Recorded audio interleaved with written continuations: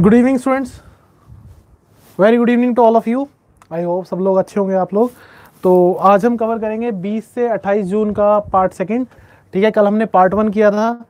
और जिन बच्चों ने पार्ट वन नहीं देखा तो मैं चाहूँगा कि वो पार्ट वन भी ज़रूर देख लें। ठीक है? क्योंकि कई चीज़ें आपस में लिंक होती हैं तो इसलिए पार्ट देखना ज़रूरी है। तो काफ़ी बच्चे तो ऑनलाइन हमारे साथ जुड़ चुके हैं, कुछ अभी जुड़ भी रहे हैं। तो Sumit Jakhar ji offline start classes जल्दी स्टार्ट हो जाएँगी। हम बता देंगे उसके बारे में। हाँ जी, नीरज जी, हम टेलीग्राम पे ज़रूर डाल देंगे आपकी। ओके देखो, मनजिंदर कौर जी, ज़्यादातर एग्ज़ाम जो है, आजकल करंट ओरिएंटेड ही आ रहे हैं। ठीक है? Good evening Mandeep good evening Neha good evening Baljinder good evening Prince सत श्रीकाल गगनदीप कौर जी। Good evening Divya Sharma. सत श्रीकाल Lovepreet Singh. So very good evening to all of you ठीक है? स्टूडेंट्स देखो, आजकल जो ज़्यादातर पंजाब के एग्ज़ाम्स हैं, उनके लेकर अगर मैं बात करूँ, ज़्यादातर जो पंजाब रिलेटेड एग्ज़ाम्स हैं, उसमें करंट की वेटेज अपने आप बहुत ज़्यादा रहेगी, ठीक है? आजकल एग्ज़ाम आते भी करंट ओरिएंटेड है, और ये जो करंट अफेयर्स अभी चल रहे हैं, ये तो ज़्यादा ही इंपॉर्टेंट है। अभी काफ़ी सारी वैकेंसीज आ गई हैं। अच्छा वैकेंसीज़ को लेकर हम सारी अपडेट्स अपने चैनल पर डालते रहते हैं। तो आप में से जिस भी बच्चे ने हमारा चैनल सब्सक्राइब नहीं किया हुआ, वो चैनल सब्सक्राइब कर लो बेल आइकन दबा दो ताकि जॉब को लेकर कोई भी नोटिफिकेशन अगर आ रही है, कोई भी चेंज हो रहा है, कोई सिलेबस में कोई बदलाव हो रहा है या कुछ भी आपको चेंज देखने को मिल रहा है, उसके बारे में आपको इन्फॉर्मेशन मिल जाए। तो मैं चाहूँगा कि आप चैनल सब्सक्राइब ज़रूर कर ले बेल आइकन को दबा दें। ठीक है, और आज हम कवर करेंगे 20 से 28 जून का पार्ट सेकंड ठीक है तो आई गेस ऑडिबल मैं अच्छे से हूँ आप लोगों को, और क्लियर दिखाई दे रहा है सब कुछ। हाँ जी, एक बार बता दो सब लोग ऑडिबल एंड क्लियर है या नहीं?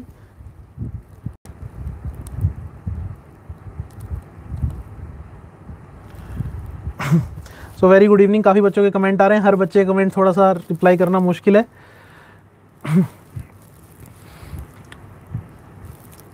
ऑडिबल एंड क्लियर चलिए जी। ओके जी। तो स्टार्ट करते हैं बच्चे आज का लेक्चर ठीक है? और जिन्होंने पिछला लेक्चर नहीं देखा हुआ, कल वाला, वो भी ज़रूर देख लें, ठीक है? कल हमने पार्ट वन किया था, आज हम पार्ट टू कर रहे हैं ट्वेंटी से ट्वेंटी एट्थ ऑफ़ जून का ओके तो स्टार्ट करते हैं। तो पहली न्यूज़ हमारे पास ब्रिक्स को लेकर है। ठीक है? देखिए, जब भी हम बात करेंगे ब्रिक्स की तो पहले तो आपको क्या पता होना चाहिए, ब्रिक्स है क्या? तो पाँच कंट्रीज़ का ग्रुप है और पाँच कौन सी कंट्रीज़ जो बिग डेवलपिंग इकोनॉमीज है? Brazil, Russia, India, China, South Africa. ठीक है? तो पाँच कंट्रीज़ ने मिलकर एक ग्रुप बनाया हुआ है ब्रिक्स, जो टाइम टू टाइम मीटिंग्स करते हैं एजेंडास पे बात करते हैं। तो इन्होंने अभी किस चीज़ को लेकर बात की? ग्रीन हाइड्रोजन समिट ठीक है?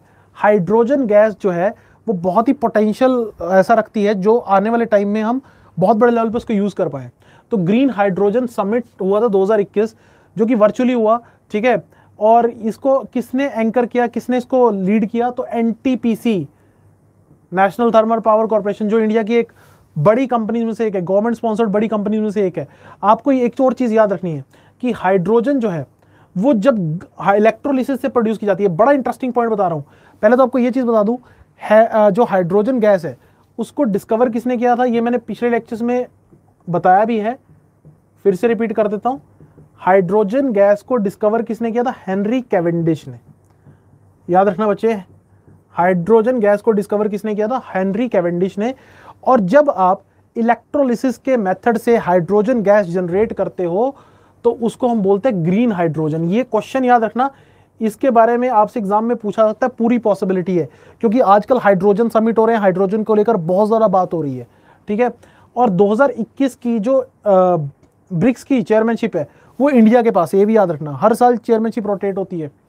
तो हमारे पास अगर हम बात करें, BRICS cooperation for continuation and consolidation and consensus continuity consolidation consensus ये थीम है हमारे पास। 2021 की ये थीम भी याद रखना, किसी भी पेपर में थीम भी आपसे पूछी जा सकती है। एक बात और मैं बताना चाहूँगा, ब्रिक्स कंट्रीज़ ने एक बैंक भी बनाया हुआ है, जिसको हम बोलते हैं एनडीबी इसको कोई नेशनल बैंक नहीं कहेगा, ज़्यादातर बच्चे नेशनल बोल देते हैं, गलत। इसको हम बोलते हैं न्यू डेवलपमेंट बैंक याद रखना बच्चे, ब्रिक्स कंट्रीज़ ने एक बैंक भी बनाया हुआ है न्यू डेवलपमेंट बैंक एनडीबी ठीक है? और इसका हेडक्वार्टर आपको कहाँ देखने को मिलेगा? इसका हेडक्वार्टर आपको देखने को मिलेगा शंघाई में, ठीक है? इसका हेडक्वार्टर आपको कहाँ देखने को मिलेगा? एनडीबी का शेंघाई में। तो these are the some basic facts जो हमारे पास यहाँ पर हैं। बेसिक बेसिक चीज़ें याद रखनी है। बेसिक चीज़ों को लेकर ज़्यादा क्वेश्चन पूछ ले जाते हैं। चलिए एक, मैं एक अच्छा क्वेश्चन पूछता हूँ हाइड्रोजन को लेकर। थोड़ा सा टेक्निकल है। हाइड्रोजन गैस मेटल की रूप में बिहेव कब करती है? किन कंडीशन में। When hydrogen gas behave as a metal हाँ जी, जल्दी से कमेंट सेक्शन में कमेंट करके बताओ। देखते हैं सबसे पहले कौन आंसर करता है।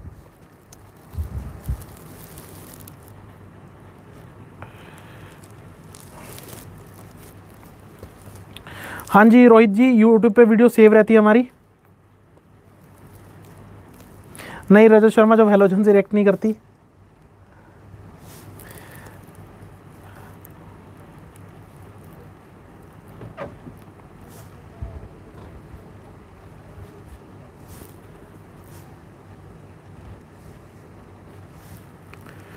Okay okay. देखो बच्चे, मैं यहाँ पे एक बात बताना चाहूँगा ऑफिशियल क्लास नेहा जी बता देंगे अभी आपको होपफुली दस जुलाई से स्टार्ट हो जाए, लेकिन अभी एग्जैक्ट कन्फर्मेशन नहीं है तो इस चीज़ को थोड़ा सा याद रखना, ठीक है? नहीं बच्चे, आपको बता दूँ कि हाइड्रोजन गैस मेटल की तरह बिहेव कब करती है? बहुत हाई प्रेशर जब उसके ऊपर डाला जाता है अच्छा खासा हाई प्रेशर जब हाइड्रोजन गैस के ऊपर डाला जाता है तो इट एक्ट मेटल सो ये चीज़ याद रखना, और हाइड्रोजन का जो एटॉमिक नंबर है, वो भी याद रख लेना, बहुत सिंपल क्वेश्चन है ऑल लेकिन फिर से वही बात, कई बार सिंपल क्वेश्चन ही धोखा दे देते हैं। So atomic number sorry atomic gas लिख दिया मैंने। अटोमिक नंबर जो है हाइड्रोजन का वो कितना है? वन ठीक है? चलिए जी। नेक्स्ट हमारे पास निष्ठा कैपेसिटी बिल्डिंग प्रोग्राम देखिए बच्चे on the line of national education policy 2020 national education policy की तर्ज पर, उसी के जैसे ही एकलव्य मॉडल स्कूल्स जो हैं, वहाँ पर एक प्रोग्राम चलाया जाएगा टीचर्स की ट्रेनिंग को लेकर that is known to be Nishtha. पहले तो हम देख लेते हैं निष्ठा की फुल फॉर्म क्या है। Nishtha here means national initiative for school heads and teachers holistic advancements. देखिए बच्चे, टीचिंग एक ऐसा प्रोसेस होता है जहाँ पर हमेशा आपको सीखने को मिलता है। ऐसा नहीं है कि टीचर सिर्फ़ सिखाते हैं। टीचर्स को भी काफ़ी कुछ सीखने को मिलता है और टीचर्स को सीखना भी चाहिए। टीचिंग एक ऐसा प्रोसेस है जिसमें आप हमेशा सीखते हैं। कई सारी चीज़ें आपको सीखने को मिलती हैं। ओके तो अब आपने याद रखना है, पहली बात तो एकलव्य मॉडल स्कूल्स हैं क्या? ये जो शेड्यूल ट्राइब कम्युनिटी है, उनकी हेल्प करने के लिए मिनिस्ट्री ऑफ़ ट्राइबल अफेयर्स ने स्पेशल स्कूल्स बनाए थे, Eklavya schools Eklavya model residential schools इन स्कूल्स में टीचर्स की ट्रेनिंग के लिए एक प्रोग्राम चलाया गया है, निष्ठा। पहला क्वेश्चन हमारे पास ये हो गया सिंपल सिंपल क्वेश्चन और दूसरा क्वेश्चन निष्ठा की फुल फॉर्म अब यहाँ पर जो इंटरेस्टिंग चीज़ मुझे इस पूरी न्यूज़ में दिखाई दी, वो क्या? यहाँ पर एक वर्ड लिखा हुआ है नेशनल एजुकेशन पॉलिसी 2020 जो पंजाब और हरियाणा के आने वाले एग्ज़ाम्स है, वहाँ पर नेशनल एजुकेशन पॉलिसी को लेकर क्वेश्चन आने की बहुत पॉसिबिलिटी रहेगी। आपको बता दूँ कि आज़ादी से लेकर अब तक तीन बार एजुकेशन पॉलिसीज़ आई हैं। सबसे पहले आई थी 1968 में फिर 1986 में और अब आई है 2020 में। तो ये चीज़ याद रखना कि तीन बार एजुकेशन पॉलिसीज़ हमारे पास आई हैं और ला, लास्ट एजुकेशन पॉलिसी कब आई है? 2020 में। अब एक क्वेश्चन जो यहाँ पर अच्छा बन जाता है कि 2020 वाली नेशनल एजुकेशन पॉलिसी जो आई है वो किसकी चेयरमैनशिप के अंडर आई है। तो आंसर मैं आपको बता देता हूँ के कस्तूरी रंगन। आंसर मैंने आपको बता दिया। याद रखना, बहुत इंपॉर्टेंट क्वेश्चन किस पर्सन की अध्यक्षता में नेशनल एजुकेशन पॉलिसी को बनाया गया है? के कस्तूरी रंगन इंडिया के बहुत बड़े साइंटिस्ट हैं, इसरो के लीडर रह चुके हैं। तो इनकी चेयरमैनशिप में बनी है नेशनल एजुकेशन पॉलिसी जिसमें क्राइटेरिया फॉलो होगा five plus three plus three plus four का। ये क्राइटेरिया फॉलो होगा five plus three plus three plus four का क्राइटेरिया इसमें यूज़ होगा। एक और अच्छा क्वेश्चन मैं आपको और बता देता हूँ कि नेशनल एजुकेशन पॉलिसी के साथ गवर्नमेंट ने एक लक्ष्य स्थापित किया है। एक लक्ष्य रखा है अपने अपने लिए वो क्या? कि हम एजुकेशन पे सिक्स परसेंट खर्च करेंगे जीडीपी का। तो ये भी याद रखना है आपने सेंट्रल गवर्नमेंट ने कितना परसेंट एजुकेशन पे खर्च करने का लक्ष्य रखा है? तो सेंट्रल गवर्नमेंट ने कहा है कि हम छः परसेंट अपनी जीडीपी का एजुकेशन के ऊपर खर्च करेंगे। ठीक है? तो यहाँ तक हमने सारी बात करी। अब एजुकेशन पॉलिसी को लेकर ये क्वेश्चन मैं पूछ लेता हूँ। ध्यान से सुनिएगा। नेशनल एजुकेशन पॉलिसी में एक बॉडी बनाने की बात की गई है। नेशनल एजुकेशन पॉलिसी में कहा गया है कि एक बॉडी बनाई जाएगी N H E R A के नाम से।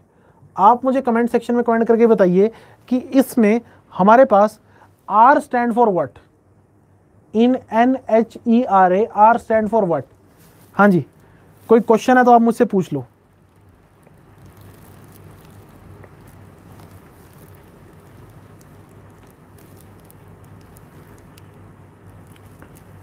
हाँ जी, इस न्यूज़ में किसी को क्वेश्चन है तो पूछ लो, बाकी मुझे हरमन बाजवा जी, गलत है रूरल नहीं है।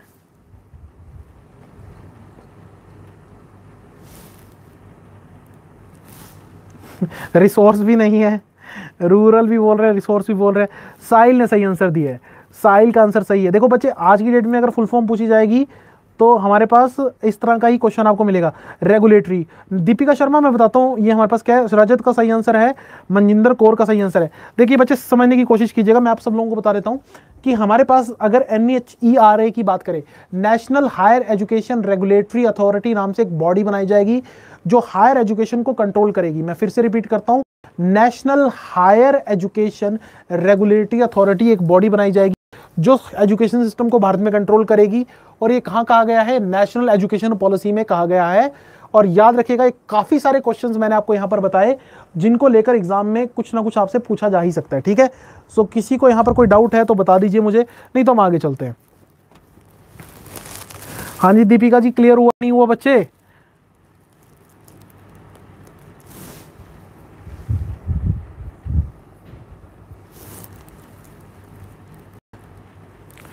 करणप्रीत एस आई के लिए बच्चे कम से कम सात से आठ महीने का करंट अफेयर तो करना ही करना पड़ेगा। ठीक है, चलिए जी, आगे चलते हैं। हरमन बाजवा जी बोल रहे हैं, सर चलो, सर, आगे। ओके नेक्स्ट न्यूज़ हमारे पास सैड न्यूज़ लेकिन याद तो करना ही पड़ेगा। सैड न्यूज़ है ऑल दो, कि इंडिया जो है आईसीसी वर्ल्ड टेस्ट चैंपियनशिप हार गए आई गेस बॉयज़ को तो सबको पता ही होगी। गर्ल्स ने भी शायद देखा ही हो, लेकिन जिन गर्ल्स का स्पोर्ट्स में इंटरेस्ट नहीं, उन्हें भी ये न्यूज़ याद रखनी पड़ेगी। देखिए, पहली वर्ल्ड टेस्ट चैंपियनशिप हुई थी, ठीक है, जो अनफॉर्चुनेटली इंडिया हार गया, ठीक है। जीता कौन है? न्यूजीलैंड। पहला क्वेश्चन तो यही हो गया। दूसरा क्वेश्चन फाइनल मैच कहाँ हुआ था? याद रख लेना पेपर में ये क्वेश्चन ज़रूर पूछा जा सकता है। रोज बाउल स्टेडियम में जो कि कहा है?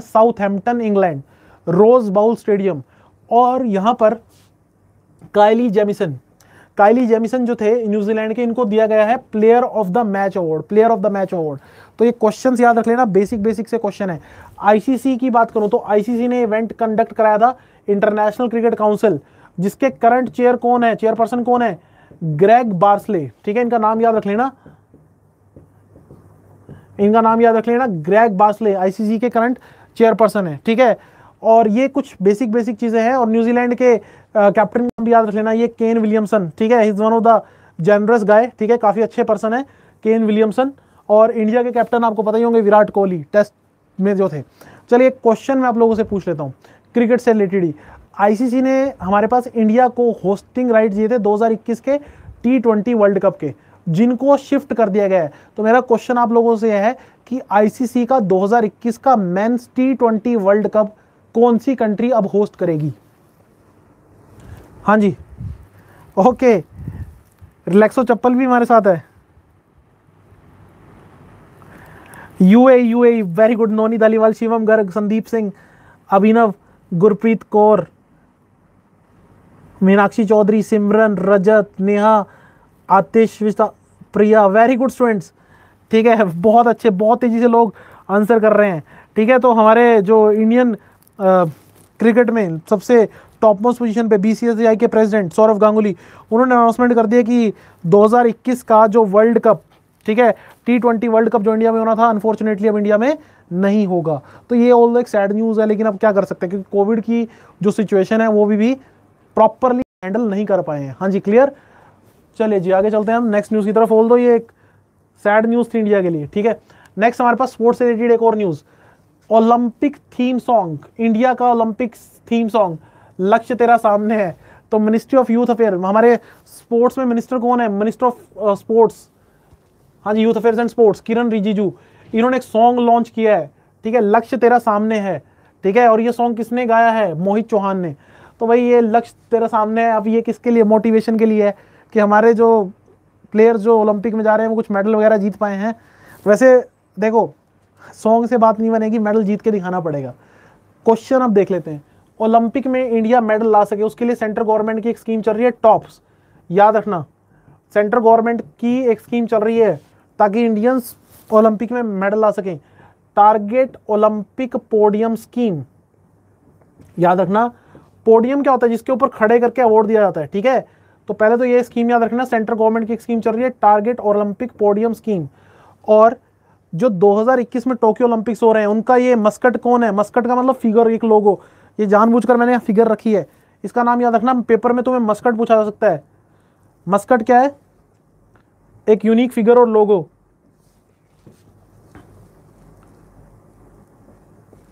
तो मस्कट का नाम है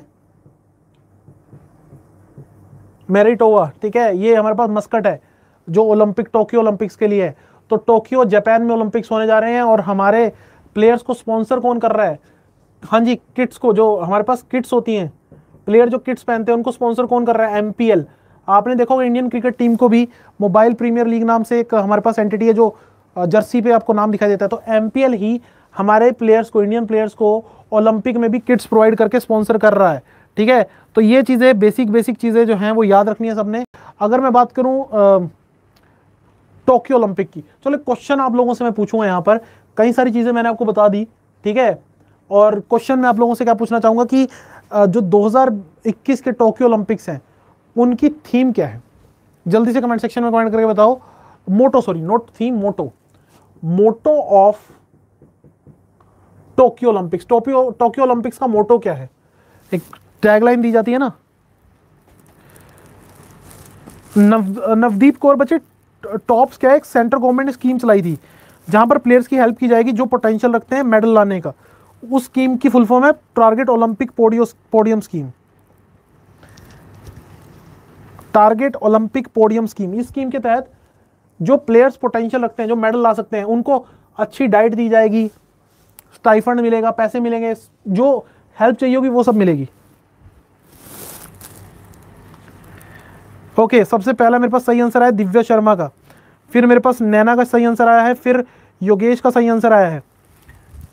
ओके फिर मेरे पास परनीति शर्मा का सही आंसर आया है, फिर नेहा का सही आंसर है, सिमरन का सही आंसर है, ज्योति प्राशर का सही आंसर है। ठीक है? तो यूनाइटेड बाय इमोशंस याद रखिएगा यूनाइटेड बाय इमोशंस ठीक है? मोटो ऐसा क्वेश्चन आने के चांसेस बहुत अच्छे रहेंगे। देखिए, क्या है कि अगर ओलंपिक हो जाते, मान लो ओलंपिक हो होने से होने के बाद अगर आपका एग्ज़ाम होता है तो ज़्यादातर क्वेश्चन आपको प्लेयर से रिलेटेड आएगा। अगर आपका एग्ज़ाम ओलंपिक होने से पहले हो गया तो आपको इस तरह का क्वेश्चन आ सकता है कि ओलंपिक का मोटो क्या था टोक्यो ओलंपिक्स का। इस टाइप के क्वेश्चन आपको जनरली देखने को मिलेंगे, ठीक है? चलिए जी नेक्स्ट न्यूज़ की तरफ़ चलते हैं। नेक्स्ट न्यूज़ है, हमारे पास Goa became rabies free state in India Bharat की पहली ऐसी स्टेट जो रेबीज फ्री हो गई है। तो अगर हम बात करें, ये डिक्लेरेशन किसने की है? गोवा के चीफ मिनिस्टर प्रमोद सावंत ने। तो गोवा के चीफ मिनिस्टर का नाम याद रखना, प्रमोद सावंत। और सेंट्रल गवर्नमेंट ने एक मिशन चलाया था, मिशन रेबीज, जिसको बहुत अच्छे से गोवा ने एग्जीक्यूट किया। अब यहाँ पर रेबीज की बात करूँ तो आपने बच्चे एक बात याद रखना है कि दो वायरस रिस्पॉन्स होते हैं। एक तो हमारे पास रेबीज वायरस जो रेबीज के लिए रिस्पॉन्सिबल होता है, इसके अलावा लाइसा वायरस ठीक है? ये वो वायरस हैं, ये वो वायरस हैं, जो रेबीज के लिए रिस्पॉन्सिबल माने जाते हैं, ठीक है? लाइसा वायरस और रेबीज वायरस ठीक है? अब यहाँ पर अगर मैं बात करूँ पहले तो ये होता था कि अगर कुत्ता काट जाए तो आपको पता होगा चौदह टीके लगेंगे, है ना? पुराने ज़माने में कहावत हुआ करती थी कि चौदह टीके लगेंगे पेट में। लेकिन अब तो खैर हमने काफ़ी एडवांसमेंट कर लिया है और रेबीज़ की वैक्सीन अब काफ़ी सोर्टेड और सिंप्लीफाइड फॉर्म में हमारे पास अवेलेबल है। लेकिन ये सब तब हो पाया जब हम रेबीज़ की वैक्सीन बना पाए। जस्ट लाइक कोविड की वैक्सीन हमारे पास धड़ल्ले से लग रही है। अब मेरा क्वेश्चन आप लोगों से बच्चे ये है कि 1979 में किस साइंटिस्ट ने रेबीज की वैक्सीन डिस्कवर की थी? Rabies vaccine developed by whom in 1969 sorry not 79 1969 हाँ जी। हु डिस्कवर्ड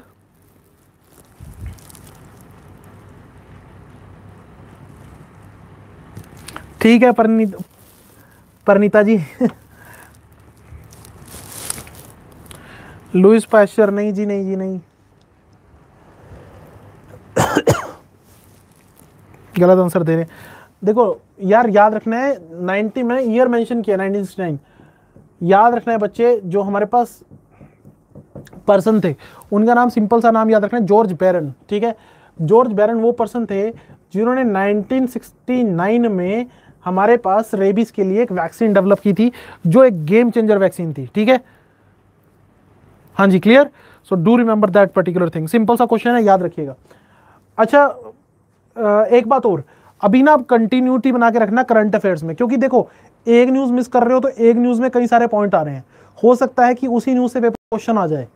एक नंबर आपका गवा, चला गया एक नंबर आपने गवा दिया तो आप कई हज़ार स्टूडेंट से पीछे रह जाओगे। Are you getting my point or not यहाँ एक एक नंबर बहुत कीमती है तो कंटिन्यूटी बनाए रखिए करंट अफेयर्स की क्लासेस लगाते रहिए, ठीक है? और जिन्होंने पिछली क्लास नहीं देखी, इसका पार्ट वन नहीं देखा तो वो कल का पार्ट वन आज की क्लास के बाद देख लें। चलिए नेक्स्ट न्यूज़ देख लेते हैं।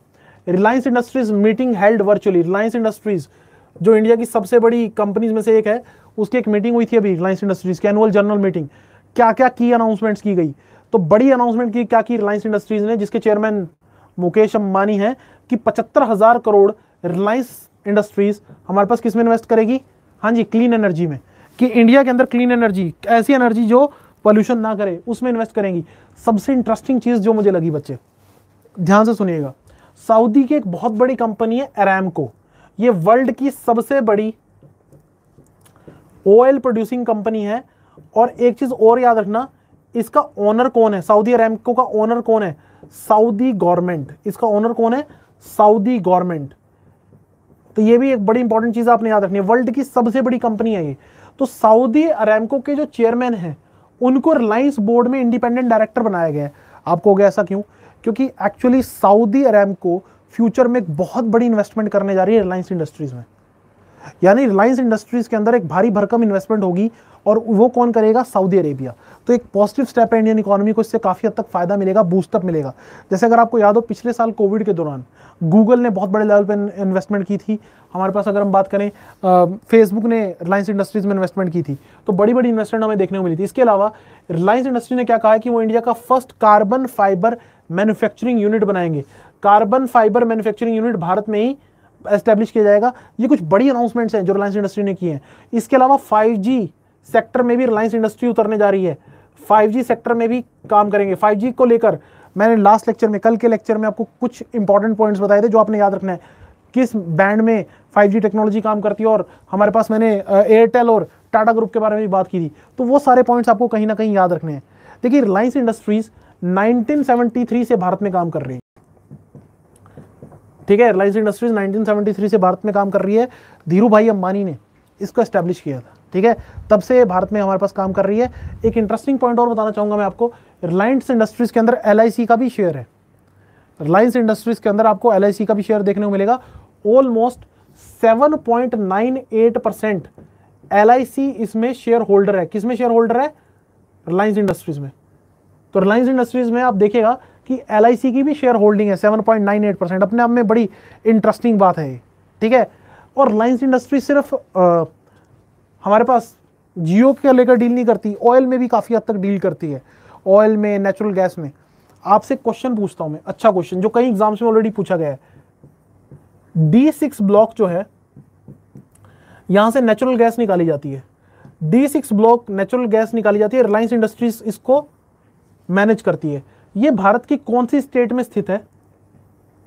जरा कमेंट सेक्शन में कमेंट करके बताना कि जो डी सिक्स ब्लॉक है, जहाँ पे नेचुरल गैस रिज़र्व है, ये भारत की किस स्टेट में स्थित है?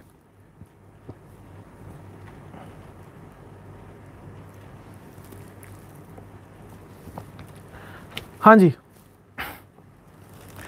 गुजरात में नहीं है, सब कुछ गुजरात में नहीं है। मुंबई स्टेट कब से हो गया, सुखवीर सिंह?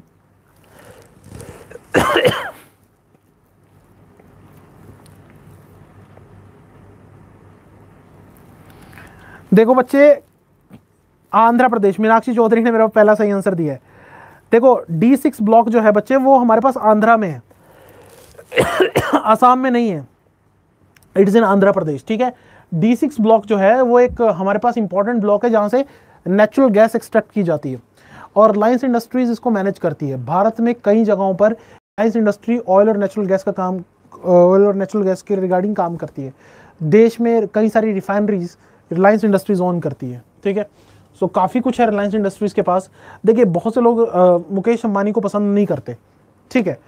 देखिए वो आपकी पर्सनल चॉइस है कि आप उन्हें पसंद करिए ना करिए ठीक है? कुछ लोग बोलते हैं कि he sponsored by prime minister Modi तो एक बात ये भी है कि जो जेनुअन बात है कि वो मोदी के आने से पहले भी बहुत अमीर थे। नो no डाउट अब उनकी वेल्थ जो है वो काफ़ी गुना बड़ी है over the period of time लेकिन वो वेल्थ बढ़ने का एक मेजर रीज़न क्या है कि जो उन्हें फॉरन से इन्वेस्टमेंट्स मिली हैं और जो उन्होंने बिज़नेस मॉडल तैयार किया है, ठीक है, वो भी काफ़ी हद तक रिस्पॉन्सिबल है। नो डाउट गवर्नमेंट की हेल्प होगी, मैं उसमें कुछ नहीं कहूँगा, लेकिन आप उस चीज़ को डिनाई नहीं करते, कर सकते कि मुकेश अंबानी ने खुद भी काफ़ी हद तक कंपनी को एक नए लेवल पे पहुँचाया है, ठीक है? नेक्स्ट हमारे पास India's N S A Ajit Doval national security adviser ठीक है? अगर हम बात करें इंडियाज एनएसए एनएसए क्या होता है? नेशनल सिक्योरिटी एडवाइजर, हमारे रक्षा सलाहकार, अजीत डोवाल जी। पहले तो इनका नाम याद रखना। अजीत दोवाल हमारे नेशनल सिक्योरिटी एडवाइजर हैं, जिनको किस नाम से जाना जाता है?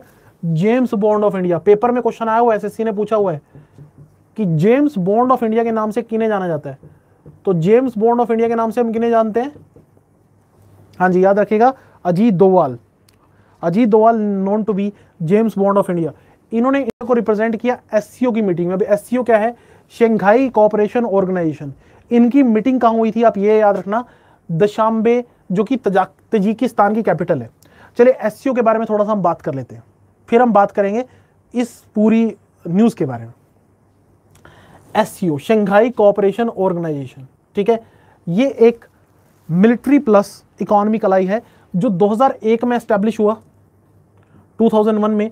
और याद रखिएगा, इसके टोटल मेंबर कंट्री कितने हैं? एट मेंबर कंट्रीज़ हैं। खास बात क्या है? जो खास बात मुझे लगती है, एक one of the interesting fact कि इसका नाम क्या है? Shanghai cooperation organisation Shanghai cooperation organisation इसका हेडक्वार्टर कहाँ है? इसका हेडक्वार्टर बीजिंग में है। नाम शंघाई है हेडक्वार्टर बीजिंग में है, ठीक है? नाम शंघाई है हेडक्वार्टर कहाँ है? बीजिंग में। ठीक है?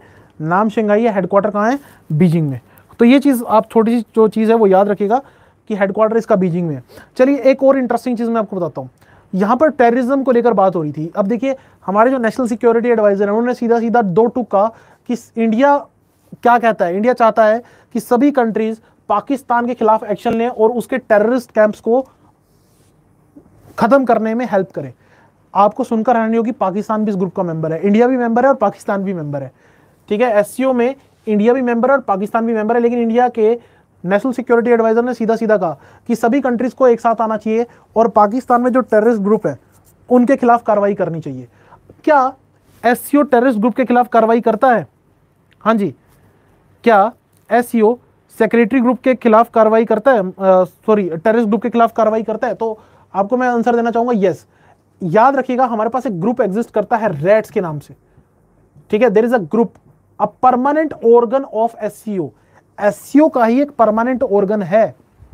अगर आपने कभी पढ़ा हो एस का एक परमानेंट ऑर्गन है रेट्स रेट्स की फुल फॉर्म है रीजनल एंटी टेररिस्ट स्ट्रक्चर याद रखिएगा रीजनल एंटी टेररिस्ट स्ट्रक्चर मैं फुल फॉर्म लिख भी देता हूँ। रीजनल एंटी टेररिस्ट स्ट्रक्चर ये हमारे पास एक परमानेंट ऑर्गन है। किसका? एससीओ का। एससीओ का ही एक परमानेंट ऑर्गन रेट्स जो सिर्फ़ टेररिज्म को लेकर काम करता है। तो आपसे ये भी क्वेश्चन आ सकता है पेपर में कि रेट्स नाम का जो परमानेंट ऑर्गन है, वो किस ऑर्गेनाइजेशन से रिलेट करता है? तो एससीओ से रिलेट करता है, जिसमें इंडिया भी मेंबर है पाकिस्तान भी मेंबर है। आई गेस थोड़ा सा क्लियर हो गया होगा आपको। चलिए क्वेश्चन पूछता हूँ, थोड़ा सा टिपिकल है। आप मुझे बताओ एस का हेडक्वार्टर तो हमने देख लिया। आप मुझे बताओ रेट्स का हेडक्वार्टर कहाँ है? हाँ जी, देखते हैं कौन सा आंसर करता है। रेट्स का हेडक्वार्टर कहाँ है?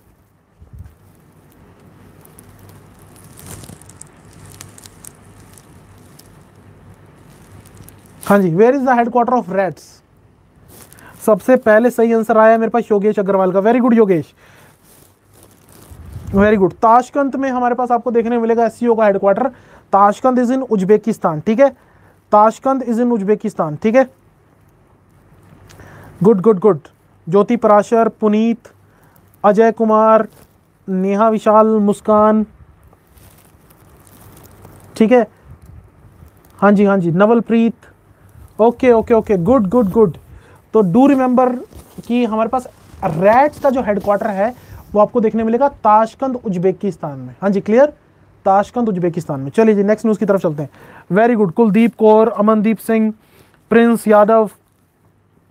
काफ़ी बच्चे सही आंसर दे रहे हैं, ठीक है? चले जी। रिकॉल कराना पड़ता है ना संदीप प्रजापति? कुछ चीज़ें रिकॉल करानी पड़ती हैं। ओके नेक्स्ट हमारे पास सिंपल न्यूज़ है जो आपने सीधा सीधा याद रखनी है। आई एम बैंगलोर को बेस्ट रैंकिंग मिली है, ठीक है इंडिया के अंदर for post graduate programme in enterprise management ठीक है post graduate programme in enterprise management ये हमारे पास रैंकिंग किसने दी? हमारे पास क्यूएस ने। क्यूएस की तरफ़ से एक रैंकिंग आई है, जिसमें क्यूएस एग्जीक्यूटिव एमबीए रैंकिंग 2021 उसको प्रॉपर नाम दिया गया है।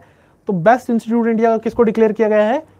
आईआईएम बैंगलोर को सीधा सीधा क्वेश्चन याद रख लेना Indian institute of management Bangalore ठीक है? इसमें कोई इनडायरेक्ट क्वेश्चन नहीं आएगा।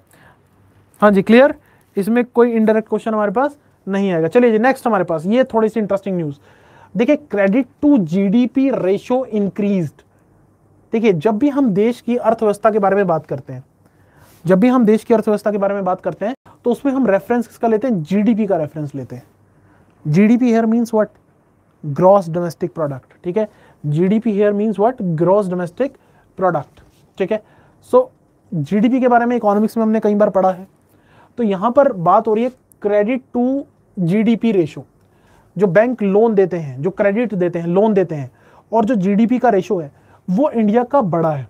ये रिपोर्ट किसने दी है और कितना हो गया है, ये भी आपको याद रखना पड़ेगा। दैट इज़ 56.7075 परसेंट या 56.07 इतना याद रख लेना। सीधा सीधा क्वेश्चन ठीक है? हाँ जी क्लियर तो ये थोड़ा सा इंप्रूव होता दिखाई दे रहा है। अगर मैं यहाँ पर बात करूँ, ये रिपोर्ट किसने दी? वो ज़्यादा इंटरेस्टिंग है, बिस में। बैंक फॉर इंटरनेशनल सेटलमेंट बहुत से बच्चों ने इसके बारे में नहीं सुना होगा, लेकिन बिस बड़ी इंटरेस्टिंग ऑर्गेनाइजेशन है, मैं आपको समझाता हूँ कैसे। देखिए, भारत में एक सेंट्रल बैंक है आरबीआई सबने सुना होगा नाम? रिज़र्व बैंक ऑफ़ इंडिया ठीक है, भारत का जो सेंट्रल बैंक है, वो है Reserve Bank of India US का सेंट्रल बैंक है यूएस फेडरल रिज़र्व ठीक है यूएस का सेंट्रल बैंक है यूएस फेडरल रिज़र्व चाइना का हमारे पास है People's Bank of China People's Bank of China ये हर एक कंट्री के सेंट्रल बैंक है तो हर कंट्री में कोई ना कोई सेंट्रल बैंक होता है। अब सेंट्रल बैंक क्या करता है? अपने देश के बैंकिंग सिस्टम को कंट्रोल और मैनेज करता है। हमारे पास क्या करता है? सेंट्रल बैंक, किसी देश का सेंट्रल बैंक क्या करता है? उस देश के अंदर। जैसे आरबीआई क्या करेगा? भारत के अंदर बैंकिंग सिस्टम को कंट्रोल और रेगुलेट करेगा। यूएस फेडरल रिज़र्व यूएसए में वही करेगा। People's Bank of China China में वही करेगा। लेकिन इन सब में आपस में भी कोऑर्डिनेशन होनी चाहिए या नहीं होनी चाहिए? यानी कि रिज़र्व बैंक ऑफ़ इंडिया की कोऑर्डिनेशन किसके साथ होनी चाहिए? यूएस फेडरल रिज़र्व के साथ। यूएस फेडरल रिज़र्व की कोऑर्डिनेशन किसके साथ होनी चाहिए? पीपल्स बैंक ऑफ़ चाइना यानी कि वर्ल्ड के सभी सेंट्रल बैंक्स को वर्ल्ड के जितने भी सेंट्रल बैंक्स है उनको आपस में मिलकर कोऑर्डिनेशन के साथ काम करना चाहिए। इसके लिए एक ऑर्गेनाइजेशन काम करती है, वो है बिस बैंक फॉर इंटरनेशनल सेटलमेंट जो कि एस्टेब्लिश हुआ था 1930 में। ठीक है, इसका हेडक्वार्टर आपको देखने को मिलेगा बेसल स्विट्जरलैंड में। Basel is a place name that is in Switzerland. अब जो चीज़ बच्चे याद रखने वाली है, वो क्या? कि जो बिस है, वो क्या काम करता है? मेंबर कौन है? पहले तो आपको ये बता दूँ किसके टोटल 62 सेंट्रल बैंक मेंबर्स हैं। कितने मेंबर्स हैं? 62 सेंट्रल बैंक्स इसके मेंबर है। जैसे इंडिया का सेंट्रल बैंक है आरबीआई यूएस का, इस तरह से कुल बासठ वर्ल्ड के सेंट्रल बैंक इसके मेंबर हैं। ये भी मुझे याद रखना है। ठीक है? हाँ जी क्लियर तो ये बेसिक बेसिक चीज़ें मुझे यहाँ पर याद रखनी है। और यहाँ पर अब इंपॉर्टेंट चीज़ क्या हो जाती है कि ये गाइडलाइंस भी इशू करता है। तो इसी की तरफ़ से हमारे पास रिपोर्ट है। अब मैं सिंपल सा क्वेश्चन पूछूँगा। ये वाला क्वेश्चन काफ़ी सिंपल है। कि बिस ने बैंक फॉर इंटरनेशनल ने पूरे वर्ल्ड में बैंकिंग सेक्टर को स्टेबलाइज करने के लिए दिए हैं बेसल नॉर्म्स तो बिस की तरफ़ से अभी तक कितने बेसल नॉर्म्स आए हैं? बहुत सिंपल क्वेश्चन है। कितने बेसल नॉर्म्स अभी तक आए हैं? हाँ जी। बिस की तरफ़ से अभी तक कितने बेसल नॉर्म्स आए हैं? गीतांजलि का सबसे पहले आंसर आया, फिर अंकिता गर्ग का आया है फिर योगेश अग्रवाल का आया है। बेसल नॉर्म तीन आए। Sandeep Singh very good Jasleen Kaur Manisha Mittal, Jolly Sumandeep Kaur, Kuljeet, Neha, Lovepreet, Pooja, Gurpreet, Meenakshi Prabhdeep Puneet, Shreya, Pulki, Neha, Divya Manjinder Kaur, Mandeep, Gurpreet, Manveer, Amandeep, Kuldeep. Very good students तो अभी तक तीन Basel norms आए हैं Basel one Basel two और Basel three इसमें याद रखना लेटेस्ट गाइडलाइन थी बेसल थ्री ठीक है? लेटेस्ट गाइडलाइन कौन सी थी? बेसल थ्री ठीक है? हाँ जी क्लियर लेटेस्ट गाइडलाइन हमारे पास थी बेसल थ्री ओके जो आई थी after the financial crisis last financial crisis ठीक है? उसके बाद हमारे पास 2008 के जो फाइनेंशियल क्राइसिस है उसके बाद ये रिलीज़ किए गए थे। चलिए जी वेरी गुड स्टूडेंट्स नेक्स्ट हमारे पास डीआरडीओ से रिलेटेड न्यूज़ है। डीआरडीओ जो गवर्नमेंट की एक एंटिटी है defence research development organisation DRDO के बारे में बेसिक आपको पता ही होगा। बहुत बार रिपीट करता हूँ, फिर से एक बार बता देता हूँ, जी सतीश रेड्डी। चेयरपर्सन है, ठीक है? जी सतीश रेड्डी हमारे पास चेयरपर्सन है हेडक्वार्टर नई दिल्ली में है, ठीक है? और डीआरडीओ हमारे पास जनरली मिसाइल्स बनाने वगैरह का काम करता है, ठीक है? सो इसने एक नई मिसाइल बनाई है निर्भय के नाम से, ठीक है? और इसको टेस्ट कहाँ से किया गया? आईटीआर चांदीपुर, ओडिशा से। भारत में ज़्यादातर मिसाइल्स कहाँ से टेस्ट की, की जाती हैं? आईटीआर चांदीपुर से। Integrated test range Chandipur. इस रेंज के अंदर इस एरिया के अंदर एक आइलैंड है। आइलैंड का नाम याद रखिएगा। एपीजे अब्दुल कलाम आइलैंड हमारे फॉर्मर बिलव साइंटिस्ट के नाम पर doctor APJ Abdul Kalam island ठीक है? सो वहाँ से हमारे पास जो मिसाइल्स हैं वो टेस्ट की जाती हैं। अब निर्भय मिसाइल अपने आप में खास है। निर्भय मिसाइल अपने आप में खास क्यों है? क्योंकि ये भारत की पहली इंडिजीनियसली डेवलप्ड क्रूज मिसाइल है। भारत के पास क्रूज मिसाइल पहले भी है, लेकिन वो जॉइंटली बनाई गई है। जॉइंटली बनाई गई है। अभी बात करता हूँ उसके बारे में भी। लेकिन ये भारत की पहली क्रूज मिसाइल थी, जो इंडिया ने खुद अपने दम पे बनाई है। तो क्रूज मिसाइल क्या होती है? जिसमें स्पीड कंट्रोल की जा सके। और इसको डेवलप करने में एडीए ने खास रोल प्ले किया है एरोनोटिकल डेवलपमेंट एस्टेब्लिशमेंट जो डीआरडीओ के साथ ही काम करती है। डीआरडीओ के अंडर ही काम करती है एडीए तो बेसिक बेसिक चीज़ें याद रखना कि निर्भय एक क्रूज मिसाइल है और भारत की पहली खुद से निर्मित, स्वदेशी तकनीक से निर्मित क्रूज मिसाइल है। भारत में एक और क्रूज मिसाइल है ब्रह्मोस लेकिन ये जॉइंट वेंचर है किसका? इंडिया और रशिया का। तो ये इंडिजीनियस नहीं कहेंगे ना इसको। ब्रह्मोस को हम इंडिजीनियस नहीं कहेंगे, क्योंकि इसमें रशिया भी हेल्प कर रहा है। लेकिन हाँ निर्भय भारत की पहली खुद से, स्वदेशी तकनीक से निर्मित हमारे पास बनाई गई क्रूज मिसाइल है। हाँ जी, क्लियर? तो ये बेसिक बेसिक चीज़ें हैं जो आपने सबने याद रखनी है। चलिए क्वेश्चन मैं आप लोगों से पूछ लेता हूँ। एडी की बात हुई एरोनोटिकल डेवलपमेंट एस्टेब्लिशमेंट इसने अभी कुछ टाइम पहले निशांत नाम से एक इक्विपमेंट डेवलप किया था। तो मैं आपसे यही पूछना चाहता हूँ, आप मुझे कमेंट सेक्शन में कमेंट करके बताओ कि निशांत किस तरह का डिफेंस इक्विपमेंट है। जल्दी से कमेंट सेक्शन में कमेंट करके बताओ, इसको एडीए ने डेवलप किया है। एरोनॉटिकल डेवलपमेंट एस्टेब्लिशमेंट ने तो निशांत किस तरह का, हमारे पास एक डिफेंस वेपन है या डिफेंस इक्विपमेंट है?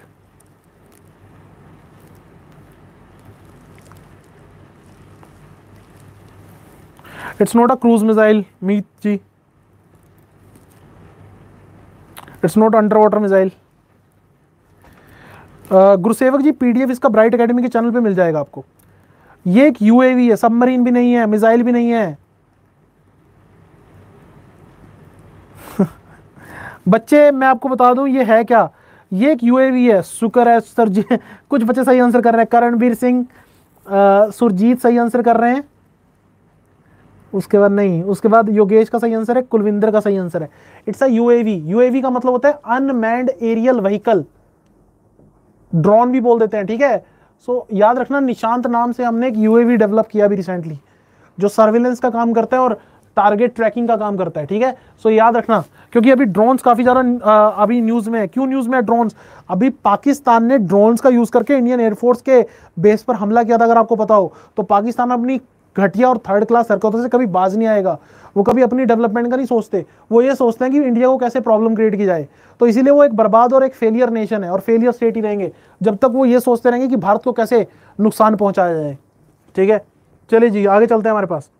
वर्ल्ड फ़र्स्ट जेनेटिकली मॉडिफाइड रबड़ तो अभी तक हमने बात की थी कि हम बीटी कॉटन की बात करते थे बीटी मस्टर्ड की बात करते थे बीटी ब्रिंजल की बात करते थे।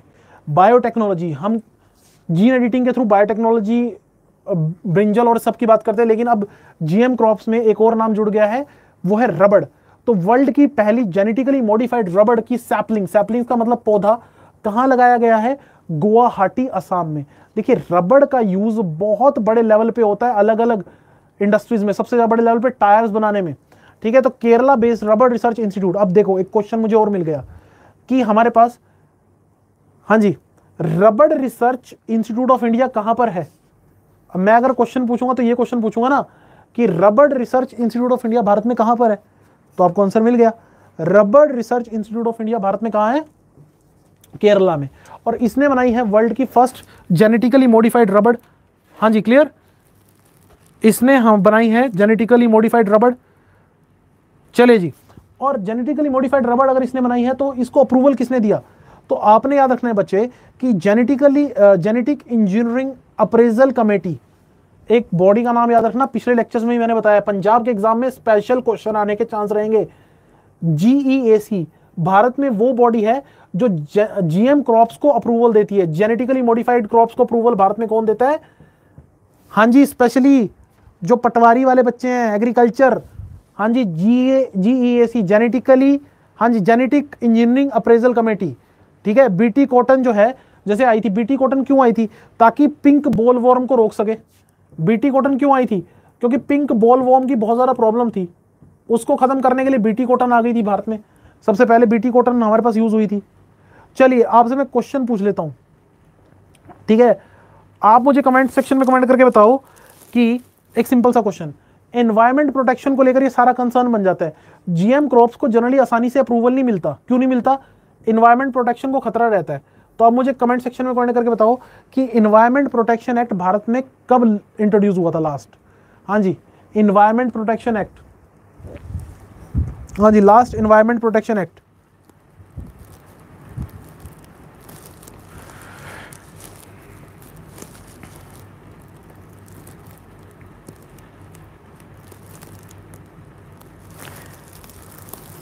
okay last environment protection act बच्चे मेरे पास सही आंसर सबसे पहले क्या पुलकित महाजन ने वेरी गुड पुलकित महाजन बबन पाल सिंह भी आ गए हैं मैदान में गीतांजलि का सही आंसर है अभिषेक का सही आंसर है साहिल का सही आंसर है दिव्या का सही आंसर है मीनाक्षी का सही आंसर है नवलप्रीत सिंह का सही आंसर है नवीश का सही आंसर है सोनू का सही आंसर है फिर मानवी मित्तल जी का सही आंसर है रूबी का सही आंसर है करीना का सही आंसर है वेरी गुड 1986 ठीक है हाँ जी 1986 भाई, हमारी आईटी टीम को अच्छा नहीं लग रहा, ठीक है? जो बच्चे वीडियो देख रहे हैं, वो लाइक कर दीजिए, ठीक है? अगर आपको वीडियो अच्छी लग रही है तो ठीक है? यू कैन लाइक ओके चलिए जी, आगे चलते हैं हमारे।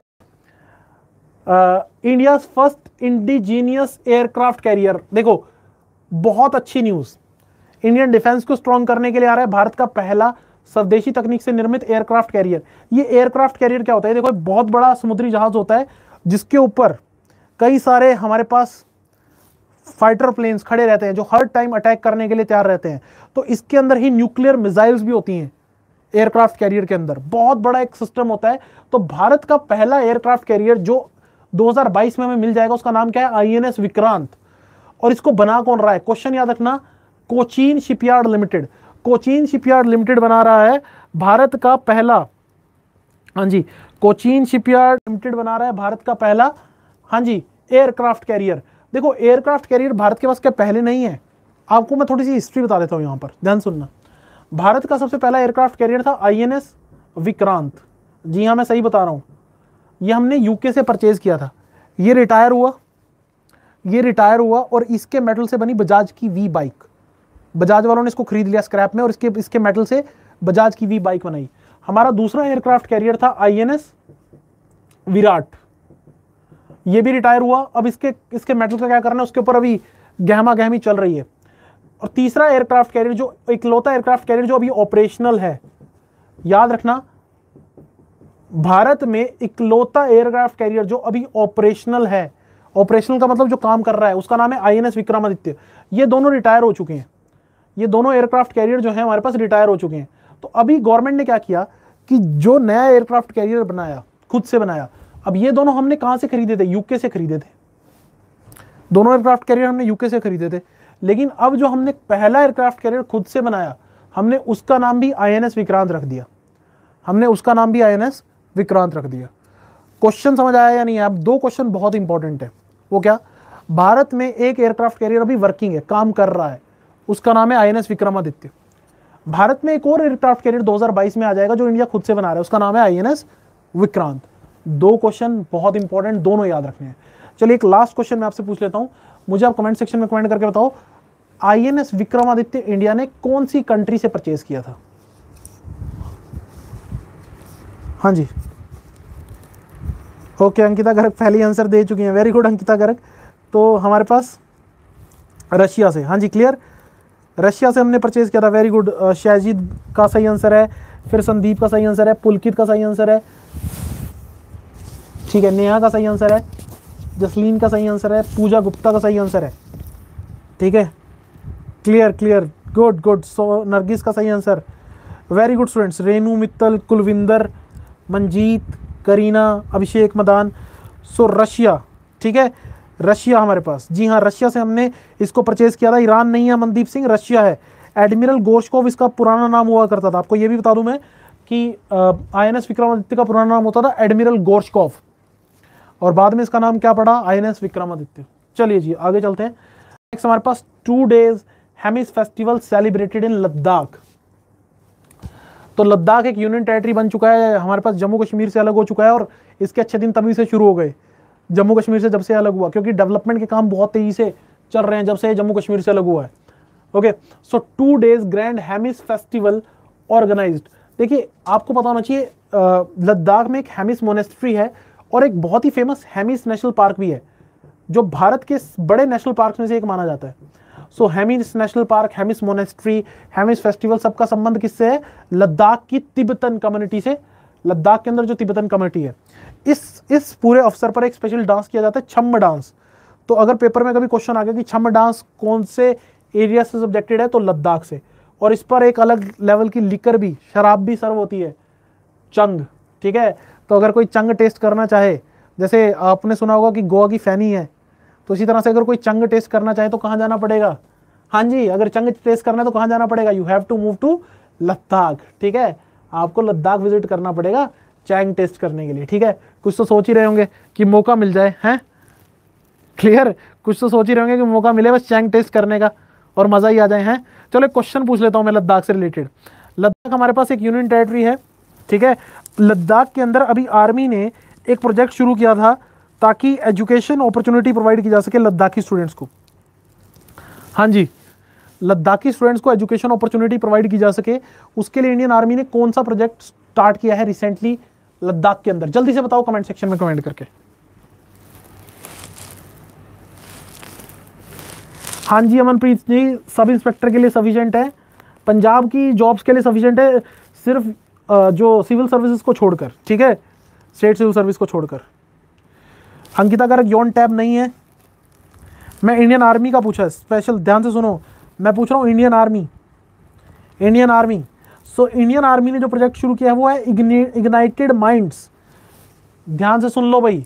इंडियन आर्मी ने, मैं इंडियन आर्मी का पूछ रहा हूँ, वो आप क्वेश्चन का सही से इंटरप्रिटेशन नहीं कर पा रहे।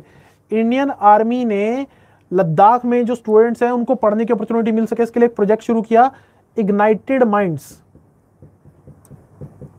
इग्नाइटेड माइंड्स तो ये चीज़ याद रखना सिंपल सा क्वेश्चन है मेरे पास, ठीक है? चले जी, आगे चलते हैं हमारे पास। नेक्स्ट न्यूज़ की तरफ़।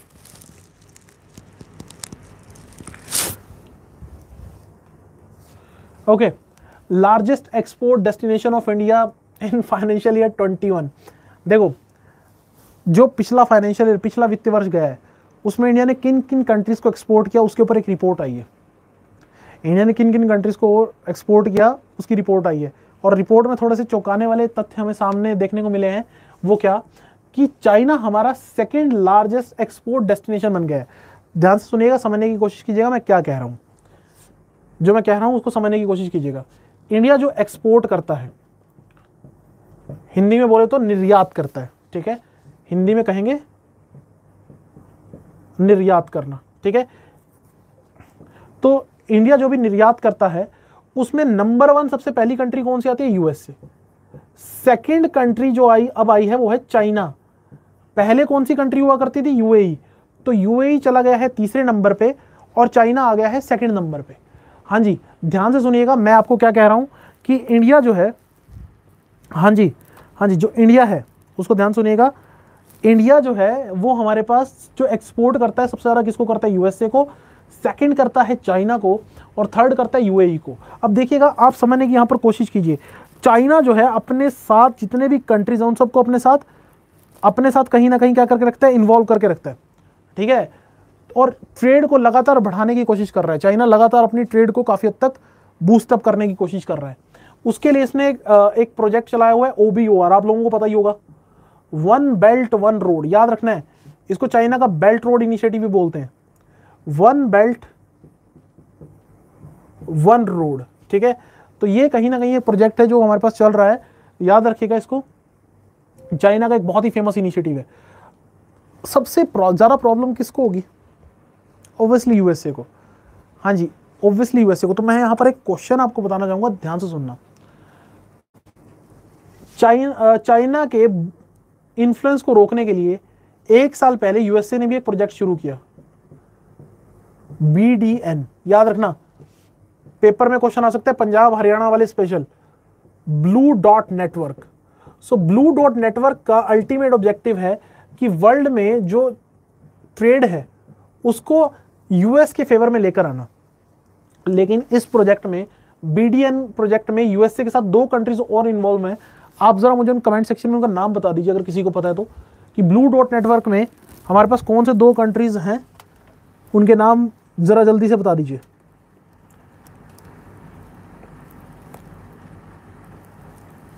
बी थ्री डब्ल्यू अलग है, वो जी ट्वेंटी का है, Jagdeep Singh ji.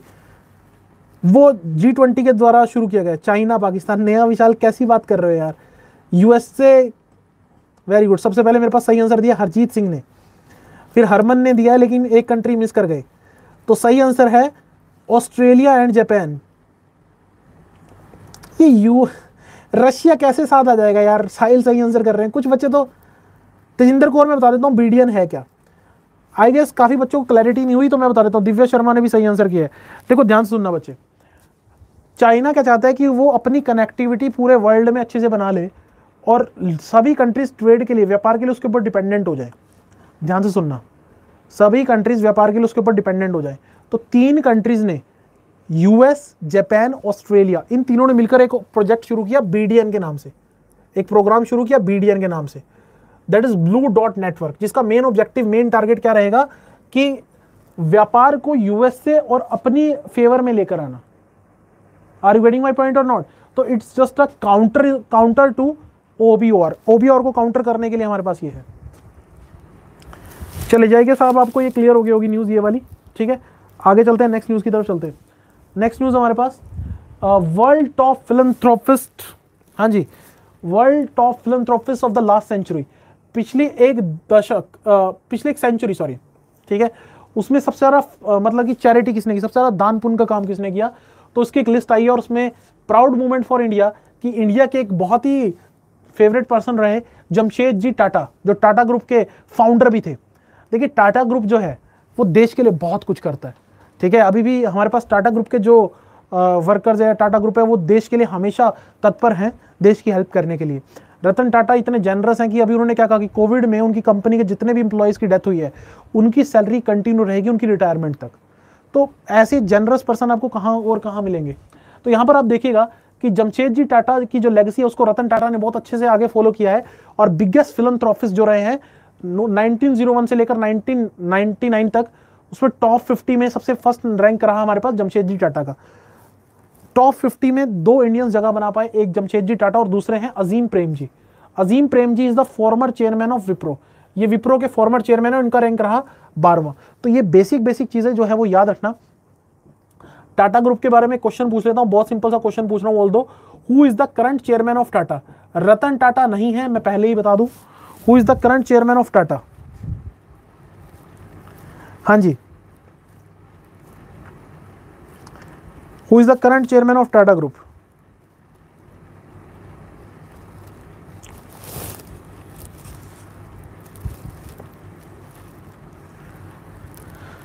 Yogesh Agarwal ji, आप पीछे चल रहे हो।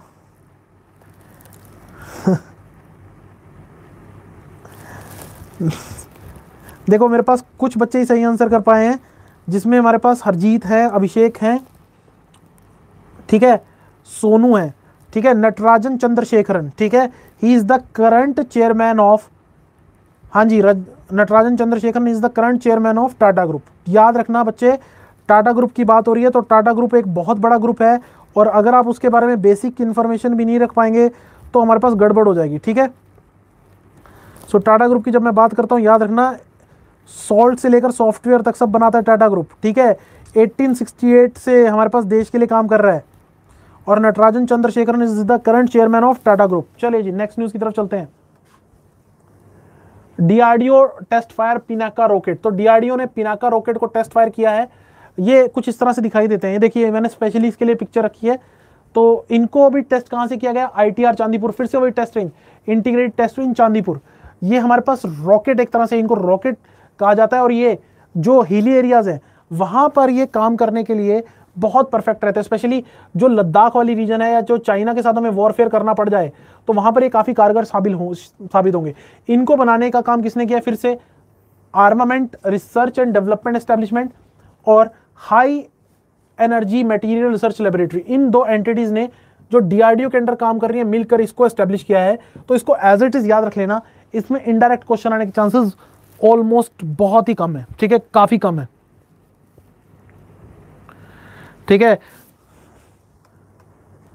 चले जी नेक्स्ट हमारे पास task force for bureau bureaucratic reforms bureaucratic reforms का मतलब जो सिविल सर्वेंट्स का जो नेचर है, आजकल आप देख ही रहे होंगे कि कई बार सुनने को मिल रहा है कि डीसी ने किसी को थप्पड़ मार दिया शादी में मारपीट की, ठीक है? किसी का फ़ोन तोड़ तो भी ब्यूरोक्रेटिक रिफॉर्म्स हमें चाहिए ही चाहिए।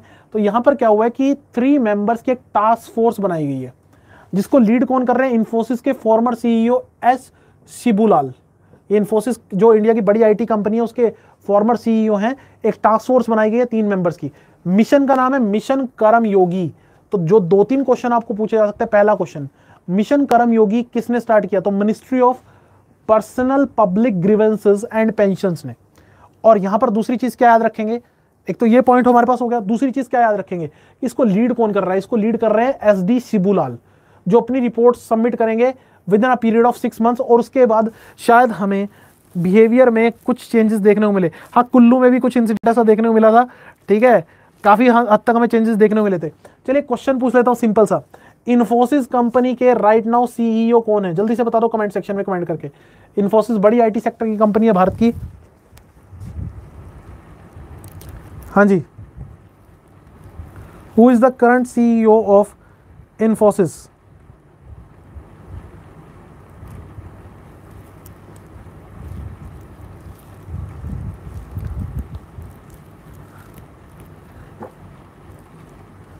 Salil Parekh, Nandan Nilekani नहीं है। नंदन इलकानी चेयरमैन है बच्चे। मैंने सीईओ पूछा है।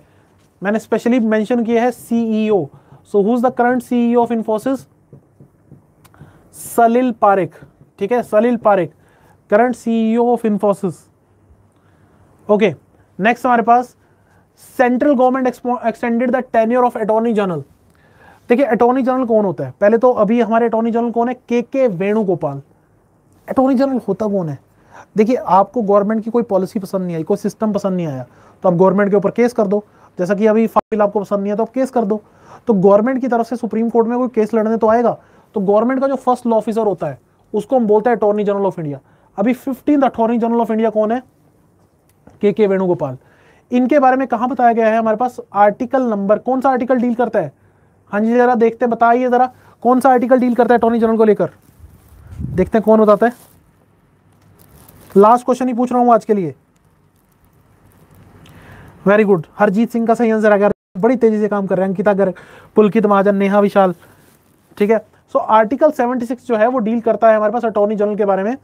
अटॉर्नी जनरल बनने के लिए आपकी क्वालिफिकेशन होनी चाहिए इक्वलेंट टू जज of supreme court attorney general बनने के लिए आपकी जो क्वालिफिकेशन होनी चाहिए दैट इज़ इक्वलेंट टू जज of supreme court and he is also known as first law officer of government of India government of India के फ़र्स्ट लॉ ऑफिसर के रूप में इनको जाना जाता है। और इनका टेन्योर एक्सटेंड किया जा सकता है मल्टीपल टाइम जब तक गवर्नमेंट एग्जिस्टेंस में तो याद रखेगा अभी हमारे अटॉर्नी जनरल कौन है? के के वेणुगोपाल और इनके बारे में कौन सा आर्टिकल पॉलिटी का डील करता है? Article number 76 okay last news for the day students last news हमारे पास सजन प्रकाश ठीक है? इन्होंने टोक्यो ओलंपिक्स में क्वालिफाई कर लिया पहली बार किसी स्विमर ने टोक्यो ओलंपिक्स मतलब ओलंपिक्स में इंडिया के लिए क्वालिफाई किया है। सो so, नाम याद रखिएगा आपसे पेपर में क्वेश्चन पूछा जा सकता है। कि सजन पार्क कौन से स्पोर्ट्स से रिलेटेड है? So he is directly connected with which sports swimming ठीक है, कौन सी स्टेट से? केरला से है। और टोक्यो ओलंपिक्स के बारे में ऑलरेडी मैं सारे पॉइंट्स आपको बता चुका हूँ कि हमारे पास मस्क, मस्कट है मैरिटोवा ठीक है, और मोटो मैंने बता दिया यूनाइटेड बाई इमोशन और वो सारे क्वेश्चन जो भी हमने थोड़ी देर पहले डिस्कस किए, याद रख लेना टोक्यो ओलंपिक्स को लेकर। तो स्टूडेंट्स आज के लिए इतना ही, ठीक है? और जैसा कि मैंने कहा कि हमारा चैनल सब्सक्राइब कर लीजिए, ठीक है? बेल आइकन को दबा दीजिए ताकि आपको पता चलता रहे कि पंजाब या हरियाणा में कोई जॉब आ रही है, उसके अंदर क्या बदलाव हो रहे हैं पेपर कब है, उसकी डेट्स उसका सिलेबस वो सब आपको ताकि टाइम टू टाइम इन्फॉर्मेशन मिलती रहे। So thank you students have a nice day